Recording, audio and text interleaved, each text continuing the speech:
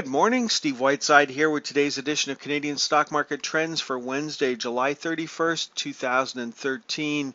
We're coming up to 8 a.m. on the East Coast and stock index futures are basically unchanged. We've got commodities slightly higher, so we're looking for a mixed open in Toronto at 930.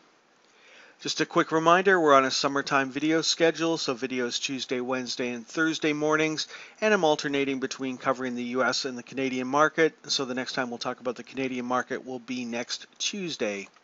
Uh, today's a Fed day in the US, so uh, not expecting a lot to happen on uh, Wednesday. Uh, just uh, starting off with an executive summary for the last uh, couple of weeks, we've been sitting waiting for the S&P 500 to break out above 1687.50.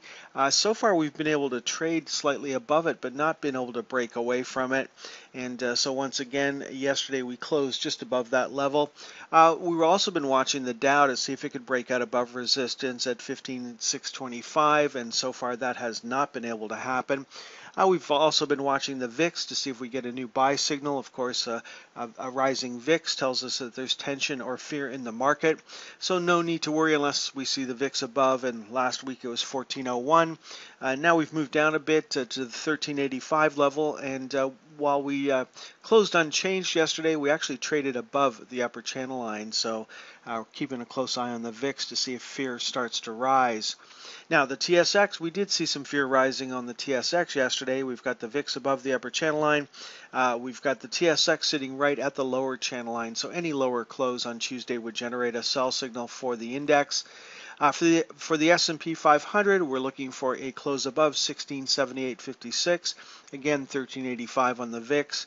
And for the Nasdaq 100, we're looking for a close above 3044.35. And for the VIX for the Nasdaq 100, we need a close above 1280 to generate a new buy signal. No major alarm bells in uh, overnight trading. Uh, we saw the Australian market move up to our next price target and reverse. And uh, so we uh, closed a little higher there yesterday, a little lower for the New Zealand market, already on a sell signal. Indian market had a big down day, already on a sell signal. Uh, little selling in uh, Hong Kong, little buying in Shanghai, but no change.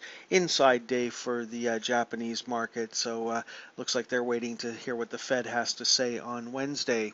Uh, looking at uh, commodity trading, no trend changes on Tuesday. Crude oil still on a sell signal. Inside day for gasoline, inside day for heating oil, inside day for natural gas. Looking at the metals, we saw copper continue to move lower. Uh, gold closed a little lower yesterday. It closed below 1306.32 would change things on Wednesday. Uh, we're still having trouble getting up and over the 50-day moving average. Uh, we're starting to break down below the uptrend line. We've got uh, we had gold trading into a triangle here. We had a downtrend line and an uptrend line. We're starting to break down below the downtrend line, but certainly not a significant uh, breakdown. And we do have an open gap that could potentially act as support. Uh, silver back on a sell signal, unfortunately, and close above above $20.08 would change things on Wednesday looking at the Canadian market and uh, saw a big move in uh, fertilizer stocks yesterday. The previous day was a very good day for the fertilizer sector, and then a complete reversal yesterday. Uh, and you can see uh, Agrium actually generated a buy signal on Monday, and so you would have uh, come on Tuesday to buy it at the open and found that it was uh, way down here and probably wouldn't have taken that trade. if you did buy it at the open, of course, it looks like it would have been a profitable trade so far, but I think most people would have waived that that off and a big down day for potash itself. And uh, it looked like it was putting in a bottom here and we saw it um, moving up uh, to the uh, lower channel line but no joy there. And certainly it'll take a while for potash to, to recover and another big open gap for the market to deal with. So those fertilizer stocks putting downward pressure on the TSX and we're sitting right on the edge of a new sell signal. Inside day for energy stocks already on a sell signal. Now uh, the bank stocks have moved up uh, farther than I uh, would have anticipated they would, and uh, so we've had a very nice run in bank stocks. Uh, we're sitting with a couple of early warning signals up there, and uh, we're certainly overbought and starting to see some weakness in some of the banks. And so here we are trading just below the upper channel line. gold stocks have seen some early warning signals recently, but we're still trading at the upper channel line and so we'll have to see if we get fall through to the downside. But so far, uh, gold is up in the pre-market on Wednesday. Uh, so a big down day for materials, big down day for metals and mining is uh, uh, the uh, fertilizer stocks are in that index, and uh, we saw the small cap stocks trade down to the lower channel line. Uh, we saw telecom stocks trade above the upper channel line but did not close there, so they're still on a sell signal.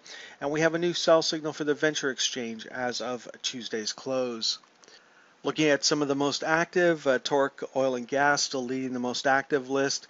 Uh, no change there. Uh, we've got the Bombardier back on a buy signal, so a continuation trade.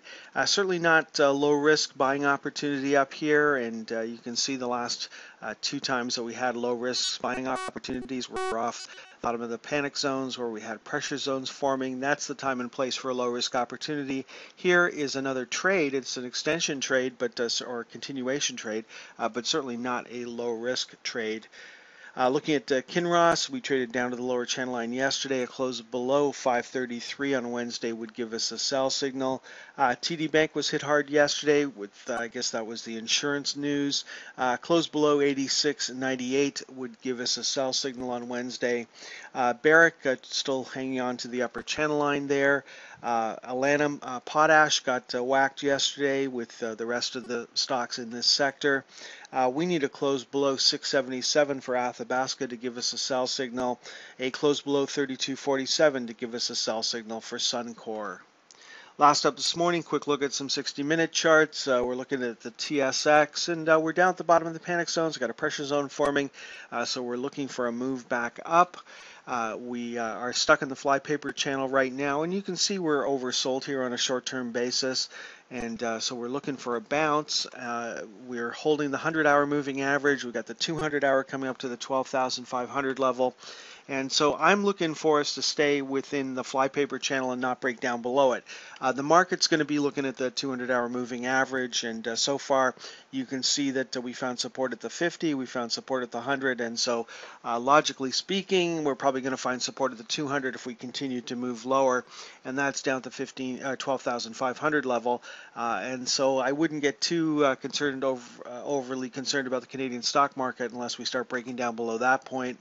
We're currently on an intraday sell signal and an hourly close above 12,623 would give us a new intraday buy signal on Wednesday.